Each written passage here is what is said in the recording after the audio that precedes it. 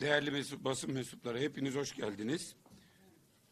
Mersin'in Mezitli ilçesinde polis evine yönelen terör saldırısında hayatını kaybeden bir kardeşimiz, bir evladımız Sedat Gezer'e Allah'tan rahmet diliyoruz.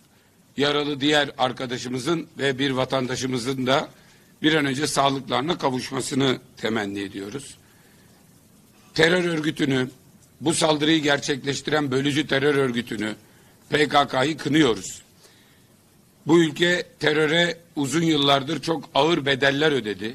Bu terörle mücadelede mücadele eden bütün polisimizi, jandarmamızı, silahlı kuvvetlerimizi, kayıplarımızı bir kez daha rahmetle anıyoruz.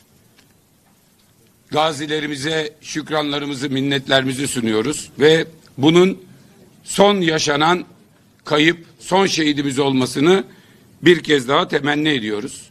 Dün akşam olay duyulduğu andan itibaren Mersin İl Başkanlığımız, ilçe başkanlıklarımız, Mersin milletvekillerimiz, Mersin'deki Büyükşehir Belediye Başkanımız, ilçe belediye başkanlarımız konuya hassasiyet gösterdiler ve sürekli iletişim halinde olduk.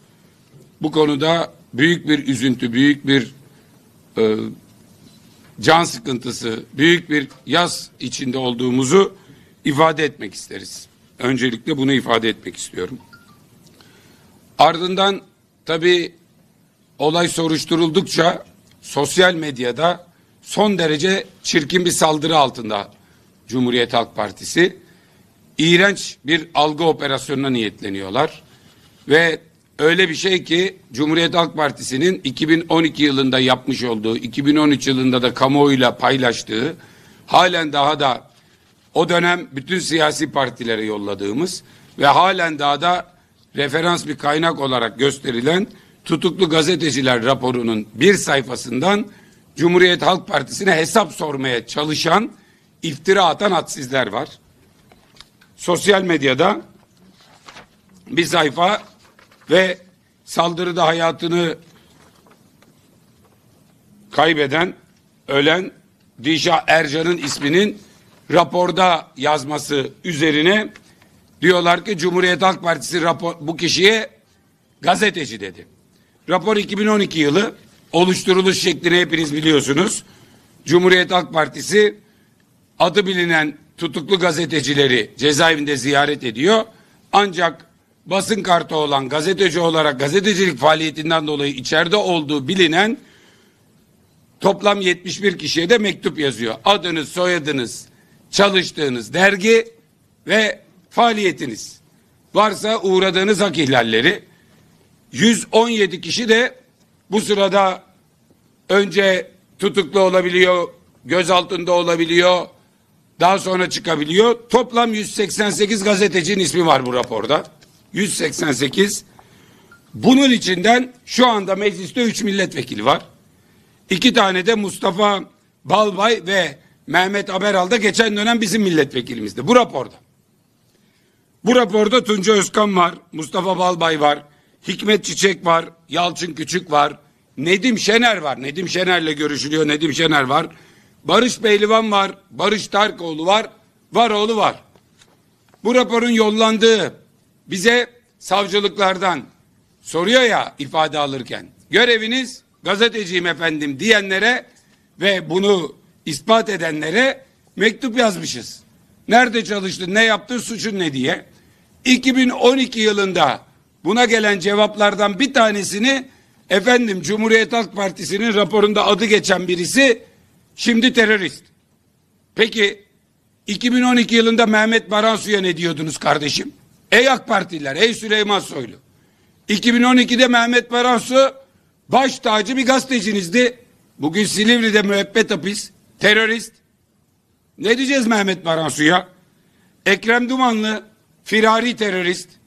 Baş tacıydı. Ayırdığı koltuğa oturuyordunuz Türkçe olimpiyatlarında. Ey utanmazlar. Ey Cumhuriyet Halk Partisi'ne bunu söyleyecek haddini bulan ve hudutlarını aşanlar.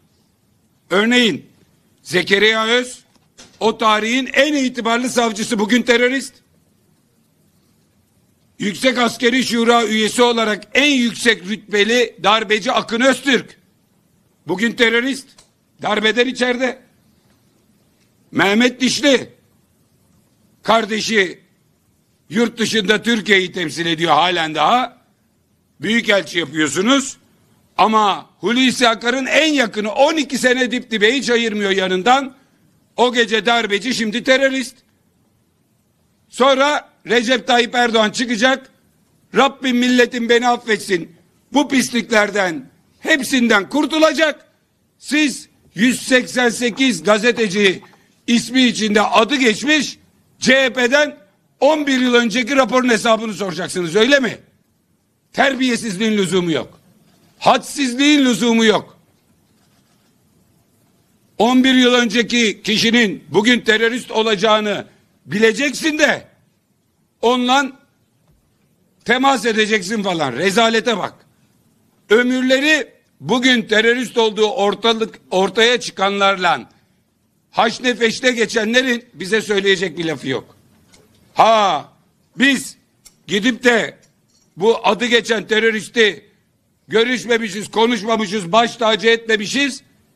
Sizin gibi biz rütbe mi taktık bunlara kardeşim? Siz teröristlere rütbe taktınız. Bugün oldu terörist oldukları ortaya çıktı.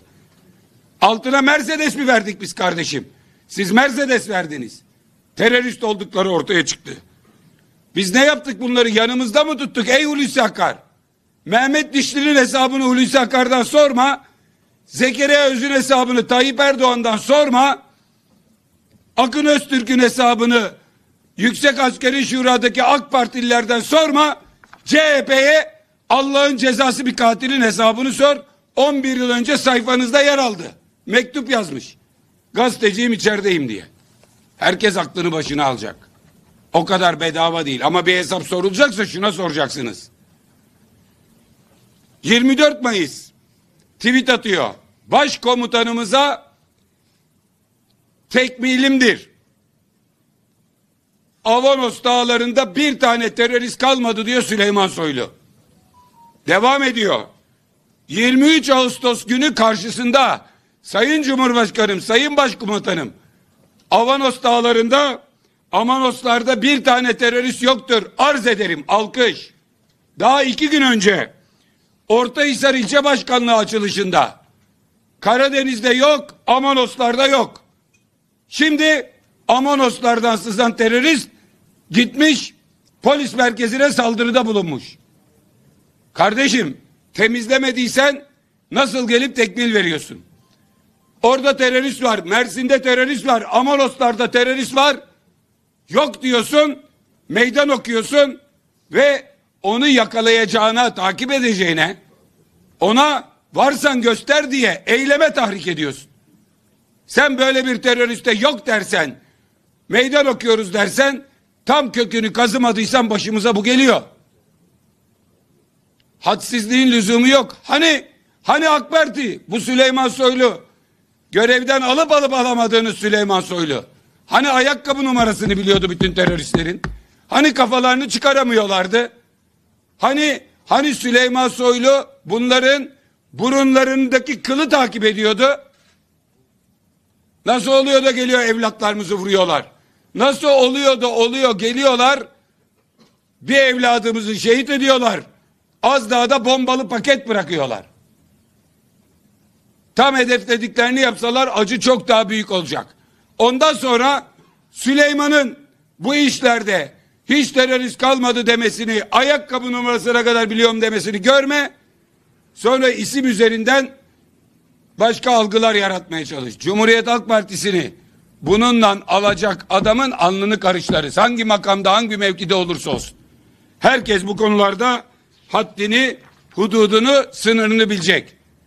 Biz çıkıp bir şehit cenazesi üzerinden bunları söylemezken tutup da oradan bir algı operasyonu yapmaya çalışmayın kardeşim. Aklınızı başınıza toplayın. Terörist hamileri, geçmişte teröristlerle pazarlıklar yapanlar, masalara oturup kalkanlar, seçim günü mektup yazdıranlar bize söyleyecek bir kelimeniz yok. Allah gani gani rahmet eylesin. Aha buramız yanıyor. Ama bu utanmazların bu fırsatçılığına da mide bulanıyor. Bu kadar söyleyelim.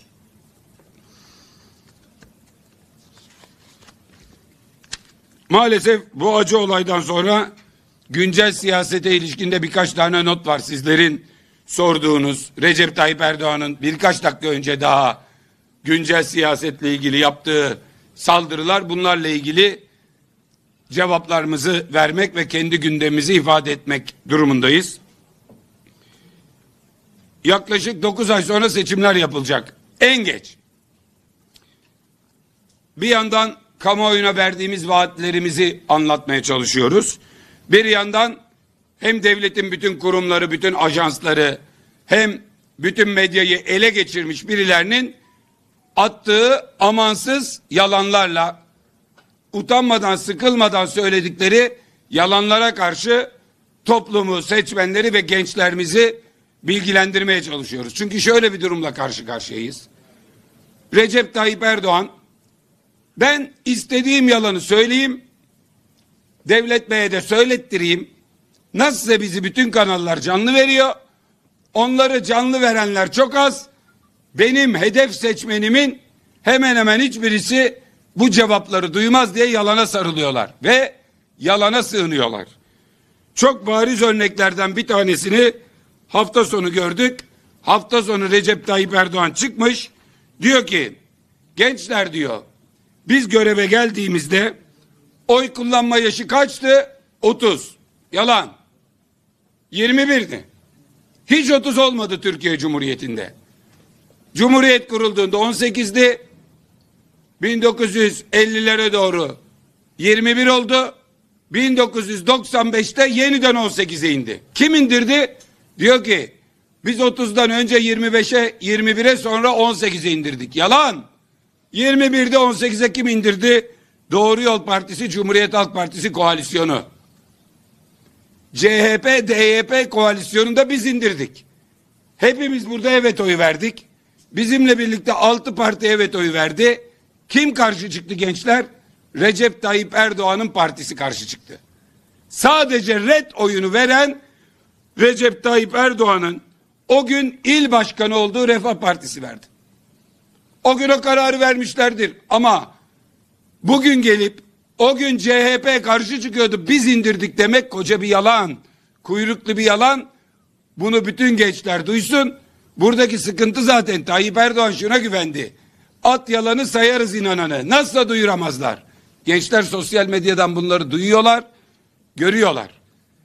Devamında şimdi efendim Abdülhamit döneminde diyor gram toprak kaybetmedik. Şimdi geçen hafta Vahdettin bahsini açtı. Çarpıldı. Bütün kimyası şaştı.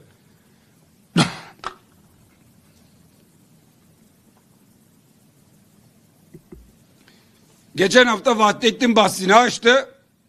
Çarpıldı bütün kimyası şaştı. Neden? Çünkü Atatürk çok açık net nutukta Vahdettin'in ihanet içinde olduğunu söylemiş. Damat Ferid'in ihanet içinde olduğunu söylemiş. Ağzına gelen lafı etmiş. Orada rezil oldular sustular. Şimdi Abdülhamit tartışması açabilir miyim? Neden? Millet ekonomi konuşmasın, yoksulluk konuşmasın, işsizlik konuşmasın, dertlerini bıraksın. Bununla birlikte Abdülhamit konuşsun diye hiç uzatmayacağız. Sadece, sadece bu yalana inanacak varsa inanmasın diye Abdülhamit bir gram toprak kaybetmedi diyen bu iddiaya karşılık bütün dünyanın kabul ettiği harita burada. 1876'da Osmanlı sınırları, 1909'da Osmanlı sınırları. Abdülhamit de hatta çıkıyor, Abdülhamit gidiyor. Burada Tunus yok, Tunus gitmiş, Sırbistan gitmiş, Bulgaristan gitmiş, Romanya gitmiş, Karadağ gitmiş, Kıbrıs gitmiş, Girit gitmiş. Bir inattan donanmayı Halice hapsetmiş, çürütmüş, Kıbrıs'la Rodos'u da kaybetmiş, Girit'i de kaybetmiş. Yani İcda Abdülhamit'in öncesi, sonrası Osmanlı'da inanılmaz toprak kayıpları var. bir gram kaybetmedi diye bir yalan atıp onun üzerinden akılları kafaları karıştıracak. Hiç gençler görüyorlar bunu sosyal medyadan da paylaşacağız. Kıbrıs dahil topraklarımızı Tunus, Sırbistan, Bulgaristan, Romanya, Karadağ, Kıbrıs ve Girit'i kaybeden Abdülhamit'e yeni bir tartışma açıyor. Bu alnının ortasına, alnının ortasına bunu yapıştırıyoruz Recep Tayyip Erdoğan'ın. Daha da diyoruz ki bu bütün dünyada ve bütün Türk tarihçilerin kabul ettiği, bütün dünyanın ve Türkiye'nin kabul ettiği yalanla örtemeyeceğin ülkeler haritasının 1876-1909. O yüzden bu vakitten sonra sana böyle bir tartışmadan da ekmek çıkmaz. Tabi biraz önce söyledim. Kendi yalan attığı gibi Devlet Bey'e de attırıyor. Devlet Bey sağ olsun. Allah sıhhat afiyet versin. Prompter'ı çok sevdi. Prompter'a ne yazarlarsa okuyor. Kablosu saraydan nasıl geliyor. Hiç uğraşmaya gerek yok. Eskiden çünkü MHP içinden yazarlar vardı. Yalan yanlış şeyler yazdırıyorlardı. Sonra onlara kavga, onlara fırça atıyordu bilmem ne. Şimdi saraydan aldığı metinlerle huzur buldu. Tabi dün ne demiştim, bugün ne diyorum böyle şeyler de yok. Geçen gün çıkmış hainler, haşhaşiler var memlekette demiş. Biz baktık çok basit. Biz Devlet Bey'i bugününü takip ettiğimiz gibi geçmişi de bütün arşivi elimizde. Dönüp baktık. Devlet Bey hiç aşağıcı demiş mi? Bakın Tayyip Bey diyor. Bülent Arınç derdi. Adalet ve Kalkınma Partisi'nin grup başkan vekilleri mecliste bol bol diyorlar. Devlet Bey ömründe dünden yani mitingdeki konuşmasından önce Erzurum'dan bir kez aşağıcı demiş. O da Recep Tayyip Erdoğan 2013'te hain haşhaşiler var deyince ey Recep Tayyip Erdoğan beni iyi dinle demiş. Bu ülkede ne hain var ne haşhaşi. O gün haşhaşi yok demiş. Bugün haşhaşiler var diyor. Sadece ve sadece ağzının alışık olmadığı saraydan prompterına, kabloyla iletilen bu mesajı okuduğu için tarih önünde de böyle mahcup oluyor. Ama bunun dışında tabi Elazığ'da bizim yaptığımız büyük grup toplantısından önce asılan o afişler, Elazığlıların, Gakkoşların utandığı o afişleri bir sahiplenen çıkmamıştı en son çıktı. Devlet Bey sahipleniyor. Diyor ki o afişleri Gakkoşlar açtı. Öyle bir şey yok. Sokağa gezdik. Görüntüleri gördünüz. Elazığlılar kusura bakmayın çok utandık.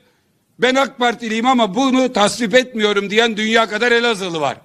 Gakkoşlar misafirperverdir diyorlar. Peki bunlar kim? Cumhur İttifakı'nın paralı trolleri eski FETÖ yurdunun birinci katına oturmuşlar. Oradan çalışma yapıyorlar. Devlet Bey de bunların sırtını sıvazlıyor. Bunlar yalancı troller, sahtekar troller, söylenmemiş sözleri söylenmiş gibi yazmışlar. Biz de geçtik karşısına fotoğrafı verdik. Ne İHA Sezgin Bey'in dediği öyle bir şey var. Küllüm yalan. Ne yazdıkları şekliyle Gürsel Tekin'in bir ifadesi var. Küllüm yalan. Ne genel başkanın öyle bir ifadesi var. Ama bir kez daha söylüyoruz. Biz Demirtaş'a yapılanın bir hak ihlali olduğunu, hukuksuzluk olduğunu, yattığı her günün de onun mücadelesinde bir nişan olduğunu söyledik. Söylemeye de devam ediyoruz. Ama ben elimle ona şeref madalyası takacağım falan. Bu laf ak trollerin, MHP'li trollerin işidir. Bu yalanları söylemekle iktidarda kalacağını düşünen Devlet Bahçeli'nin de erimeye devam etmesi güzeldir. E sesi çok çıkıyor. Öyle. Sönmekte olan mum çok duman çıkarır. Sönen ateşten çok kara duman çıkar.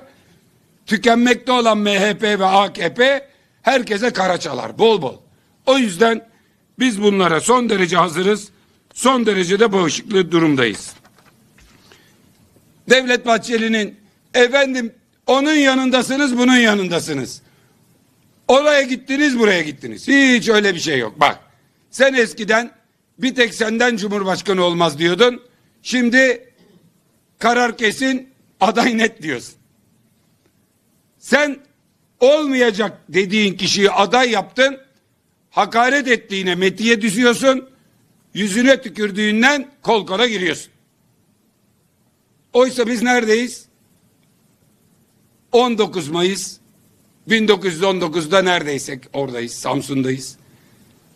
Erzurum'a gitmişsiniz ya. 23 Temmuz 2010 23 Temmuz 1919'da Erzurum Kongresi'ndeydik. Orada ne söylüyorsak hala oradayız. Mandaya da, himayeye de, dış güçlere de karşıyız. Tek adama da karşıyız. Sen tek adamcı oldun. Biz hala tek adama karşıyız. Bunu da açık şekilde ifade etmek gerekiyor. Bir başka gündem Nurettin Nebati o diyor ki doğru söyle eğri söyle fark etmez. Haberin iyi ki iyisi kötüsü hiç fark etmez. Yeter ki haber olayım. Erdoğan etkisi diye bir şey var demiş. Onun üzerine diyorlar ki ya bu nasıl bir etki kardeşim? Erdoğan etkisi nedir? Vallahi biz çıkardık Erdoğan etkisini. Çok net Erdoğan etkisi. Ne zaman başladı bu tek adam rejimi? 24 Haziran 2018. Nedir Erdoğan'ın etkisi? İşsiz sayısına 1 milyon 658 bin kişi artmış işsiz sayısı. Aa sana Erdoğan etkisi. İstihdama katkı hiçbir katkısı olmamış. İstihdam çalışma çağındaki nüfusu yüzde 47.3'üne iş verebiliyoruz. İş gücü oranına katılım 2018'de 53.1'miş 52.6'ya düşmüş. İlerlemediği gibi gerilemiş. Kişi başına milli gelir. Geldiğinde 10.694 dolarmış. Şimdi 9.592 dolar. Al sana Erdoğan etkisi. Herkesin cebinden yılda 1100 doları almış götürmüş Erdoğan etkisi. Türk lirasının değeri yüzde 76 değer kaybetmiş. Dörtte birine düşmüş. Dört buçuk liraya almış doları Erdoğan etkisi bugün yapmış on sekiz buçuk lira. Dört buçuk liradan on sekiz buçuk lira al sana Erdoğan etkisi. Açlık sınırı yüzde 302 artmış. Ekmeğin fiyatı yüzde 400 artmış. Ayçiçeğin fiyatı yüzde 560. Beş kat artmış. Patlıcanın fiyatı yedi kat artmış. Kabağın fiyatı beş kat artmış. Benzin fiyatı yüzde 225. Mazot fiyatı yüzde 322. 12 kiloluk mutfak tüpünün fiyatı yüzde 261 artmış. Al sana Erdoğan etkisi. Erdoğan'ı iktidara tek başına bütün yetkilerle ekonomistim bilirim getirdikleri günden beri iyiye giden bir şey yok. Bütün rakamlarda baş aşağı çakılmışız. Ekmeğin fiyatını dört kat, ayçiçek fiyatını beş kat arttıran Erdoğan etkisinden kurtulmak için yetkisi elinde mühür rüyasında bütün seçmenler Erdoğan'ı bekliyor. Gösterecekler ona. Alacaklar Erdoğan'ın yetkisini, görecekler ekonomiye yaptığı güzel etkiyi. Erdoğan gidince bunun etkisi bütün fiyatların iyiye gitmesi, işsizliğin bitmesi, herkesin yüzünün gülmesidir. Yine bugün Sözcü gazetesinde bir manşet Enerji Bakanı Fatih Dönmez aklınla verimli yaşa kitapçığı yapmış. Şimdi Recep Tayyip Erdoğan'ın ne zaman iktidardan gideceğini merak edenlere ben hep şöyle söylüyorum. Attığı iftiralar, kurduğu alaycı cümleler, teker teker onun karşısına çıkıp da o kendi kınadıklarıyla sınanmadan ve rezil olmadan gitmeyecek. Sonlara doğru geliyoruz. Biliyorsunuz geçmişte ne diyordu? Efendim karneye bağladılar diyordu. Orduya ekmek kalsın diye herkes yeteri kadar ekmek yesin diye ekmek karnesi vardı. Biliyorsunuz ekmeklik unu bile karneye bağladılar. Bir kilodan çok alamazsın iki kilodan çok. Benzin kuyrukları var diyordu. Kıbrıs Barış Harekatı'nı yaparsan ambargo uygularım dediler. Yaptık diye benzin kuyruğu oldu. Gözümüzün önünde bütün yaz benzin kuyruklarıyla geçti. Geçen gün daha efendim Almanya'da işler kötü. Şimdiden başladılar. Kombileri kısın diyorlar. 19 derece ne ya? Üşür insan 19 derecede. Şimdi Fatih Dönmez tutmuş açıklama yapmış, broşür hazırlatmış. Kışın kombinin derecesini indirin, yazın klimanın derecesini yükseltin. Kısa mesafelerde yürüyün ya da bisiklet kullanın. Arabaya binmeyin. Yoğun trafikte aracınız beklemedeyken kontak kapatın. Banyoya kum saati koyun. Dört dakikadan fazla duş yapmayın.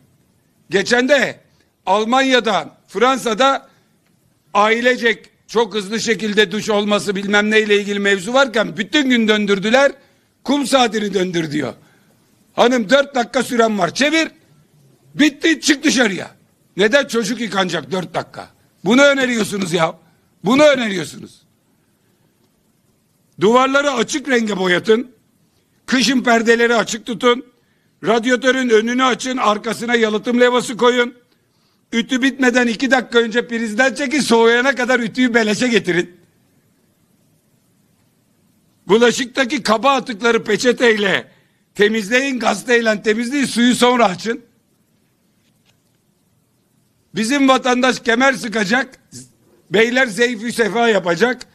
Herkese bunu söylemiş. Broşürü bastırmış. Dünyanın en çok yakan Mercedes'inin kapısını açmışlar içine oturmuş. İşte size AK Parti'nin düştüğü durum. Almanya'nın kombiyi 19'a getiriyle dalga geçiyordu. Ütüyü erken çek. Öyle yaparız. Duşa kum saati koyun. Arabaya binmeyin, yayan yürüyün o zaman daha az yakar. Tabi yürürsen tabanbayla gidersen bir şey yakmaz. Tramvayın bile bir ücreti var. Bunları öneren bir iktidarla karşı karşıyayız. Bu tasarruf tedbirleri aslında söylenmesi, alınması yanlış tedbirler değil de dünyayla alay edenin atadığının bastırdığı broşür olunca böyle kara mizaha dönüşüyor. Benim bir konum daha var o da şu. Bu konunun peşini bırakmayacağız. Devlet Bahçeli dünyayı söyledi yine dün. CHP'ye söyledi. Millet masasına söyledi. İttifak ortaklarımıza söyledi. Herkese her hakaret var. Kardeşim sende de bir tane Büyükşehir Belediyesi var. Bir. Bir tane. Manisa Büyükşehir Belediyesi. Bu Manisa Büyükşehir Belediye Başkanı önce fırında yolsuzluk yaptı, ekmek davası ceza aldı. Böyle elinde kılıç gibi tutuyor AK Parti onu. Yanlış yaparsa boynunu vuracaktı. Son anda Cumhur İttifakı'na geldiniz. Yoksa çoktan görevden alınmıştı. Katı atık arıtma tesisini yandaşa kurdurdu. Daha sonra başka bir yandaşa gidip oraya çöktürdü. Normal şartlarda hepsi birden ağır cezada yargılanır. Bir tanesinin kafasında saç bırakmazlar. Hepsini kazırlar. Üçüncü mevzumuz biliyorsunuz geçen haftalarda anlattık. Bir dağın tepesinde bir arsa. Bir arsa. O arsaya özel imar değişikliği, turizm alanı belgesi. Sonra biz ağaçlar kesilmesin bir tek arsa için olur mu? Mahkemeye başvurduk. Meğersem arsayı aldırdığı kızının arkadaşıymış. Çoktan da bu iş kapandı diye kızına devretmiş. Kendi kızına dağın tepesinde yolu yapılmış, kanalizasyonu yapılmış özel villalık arsa. Buna da sustunuz. En son Manisa'da Manisa'da Bursa İzmir sürat yolu. Dedi ki imar planı değiştiriyorum. 698 parsel yararlanacak bundan dedi. 5 katları 15 kata çıkarıyorum. Bu kendi arsası bakın kıyısı var ya kıyısı olanlar yararlanacak yoldan. Bu 5 kat kendinin de 15'e çıkıyor. Vallahi şeytanın aklına gelmez. Buradaki yeşil alanı buraya kaydıralım. Hepsini tek arsa yapalım. Bu arsalarda 15 kata çıksın. Aha. Belediye başkanının kendi arsaları. Eski hal bir tek bu çıkarken yeni halde hepsini tek arsaya birleştirmiş. Yeşil alanı aşağı kaydırmış. Yeşil alan burada. Bütün hepsi 15 kat. Ve bunu yaptığında biz dedik ki bir dakika. Dedi ki ya biz yararlanıyoruz ama bundan herkes yararlanıyor. 4800 metrekarelik inşaatı olmuş 22.900 metrekare. Toplamda 350 milyon TL'lik 200 tane fazladan daire. Dedi ki bir tek ben yararlanmıyorum. Herkes yararlanıyor baktık. 698 parsel var. Bu parsellerin 615'i 3000 metrenin altında birleşirse yararlanabilecekler. Yani önümüzdeki yıllarda 6-7 apartman birleşirse yararlanacak. 698 parselin 615'i şu anda kapsam dışı. Yararlanan 83 parsel. 71'i kendinin. 7'si ortaklarıyla bir yani 78'i. Geriye 5 parsel kalıyor. Onlar da Manisa Büyükşehir Belediyesi. Yani yapmış olduğu imar değişikliğinden Manisa Büyükşehir'in 5 kendisinin de toplam 78 toplam 83 parsel yararlanıyor. Kendine özel. Her seferinde soruyoruz. Sayın Devlet Bahçeli bu yolsuzluk kurumsal değilse bu adama ne yapacaksınız? MHP'ye soruyoruz. Her gün dünya hakaret edenler bu konuda işitme engelli görme engelli olmuşlar. Adam kendi katlarını birleştirip devasa 15 kat yapıp 200 daire kazanmış. Yola kenarı olmayan kimse yararlanmıyor. Hepsini birleştirince yola kenar yapmış. 350 milyon yolsuzluk var. Devlet Bahçeli susmuş. Genel sekreterleri köpürüyordu. isim vererek satışıyorum. Susmuş. Kime söyleyelim kime? Bu MHP'nin bu büyük yolsuzluğuna MHP susuyor mu? Susuyorsa genel merkez payını mı alıyor? Eğer MHP bu yolsuzluğa susuyorsa susanların ilişkisi mi var? Ben diyorum ki eğer ilişkileri yoksa hangi müfettişi hangi tarihte yönlendirdiniz? Araştırıp soruşturup bir şey yazsın görelim bakalım. Bütün Manisa biliyor ki kendi arsalarına imar vermiş durumdadır. Ben bunun peşini bırakmam. Kendisinin ve belediyenin dışında yararlanan bir tane de parsel yoktur. Benim söyleyeceğim bu kadar. Ha pardon. Bir de soru vardı onu da yanıtlayalım. Son anda toplu konutla ilgili söylenenlerle ilgili. Şimdi toplu konut meselesinde Tayyip Erdoğan 250'den 500'e çıkardı. Yani 250 bin kişiden 500 bin kişi ama iki yıl şimdi yapacağız gerisini sonra yapacağız diyor. Mevzu şu. İlk bu iş çıktığında sordunuz. Tutar mı tutmaz mı dedim 5 milyon kişi başvurur. Neden 5 milyon kişi başvurur? Sosyal konut bu. Başka ev alma ümidi olmayan insanlar. Başka çaresi yok insanların. Eskinin orta direği çöktü bitti. Şimdi 5 milyonun üstünde başvuru var. Yani 20 kişiden biri alabiliyor, 19'u alamıyor. Ve tutmuş 2 yıl sonra bir daha yapacağım diyor. 2 yıl sonra bir daha iktidarda değilsin. Ama sen 2 yıl önce, 3 yıl önce ne dedin 2019'da? Her yıl 100 bin konut dedin. Şu ana kadar teslim etmen gereken konut sayısı taahhüt ettiğin 150 bin o gün söylediğini doğru kabul edersek 300 bin konut teslim etmiş olman lazım. Konut monut yok. Aksaray'da dün televizyonda izledim 694 kişiye verecek hüngür hüngür ağlıyor amca. Çivi çakmadılar temel atmadılar. Kahramanmaraş Dulkadiroğlu'nda 350 konut çivi çakılmadı temel atılmadı. Türkiye'nin dört bir yanından gelen haberler ya temelde ya hiç yok ya da yarım. Ve CHP olarak diyoruz ki sosyal konut projeleri yapılmalıdır. Ancak kanun teklifini hazırladık. 1 Ekim'den sonra oya sunacağız. Bir, peşinat olmaz bu insanlar gariban. Nereden bulacak peşinatı? İki, sabit taksit olacak. Altı ayda bir zam olmaz. Sabit taksitle olması gerekiyor.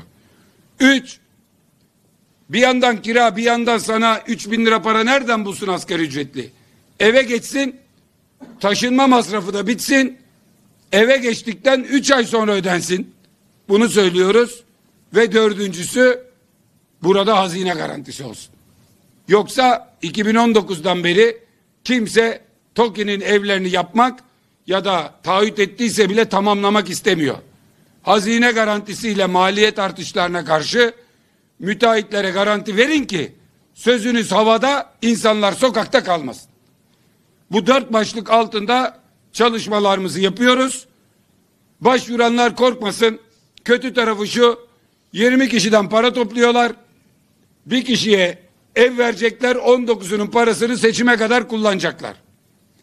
O bir kişiye de o evi dedikleri tarihte bu akılla giderlerse veremeyecekler.